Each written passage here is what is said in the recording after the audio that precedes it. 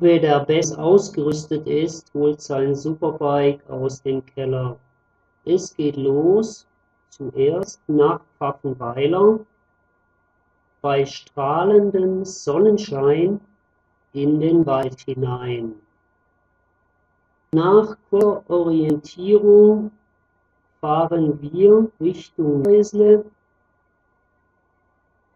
über Stock, Stein und kehren im Waldgasthof zum Auerhahn.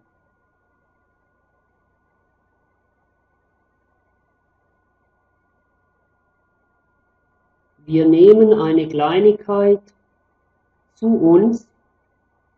Es gibt Kässpätzle, ein alkoholfreies Weizenbier und dazu lecker Salat vom Buffet.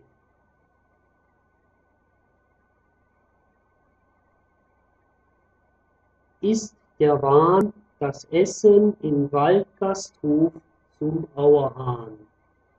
Einfach lecker. Danach geht es zurück nach Villingen.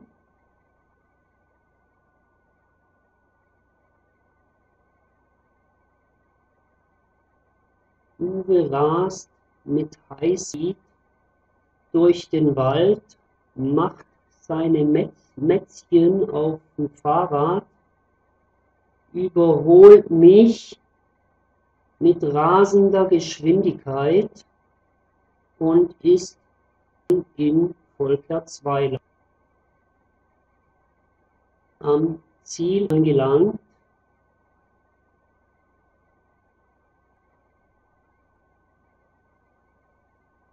Das war Fitnesstraining mit Uwe, dem Supersportler aus Villingen. Yeah!